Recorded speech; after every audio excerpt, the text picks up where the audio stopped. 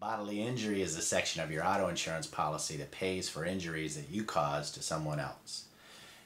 Pays for their medical expenses, pays for their lost wages if they're out of work because of the accident, and it will only pay up to the limit that you purchase on your auto insurance policy. So make sure you have this important conversation with your insurance agent because you want to make sure that you have enough bodily injury liability protection to protect all of your assets.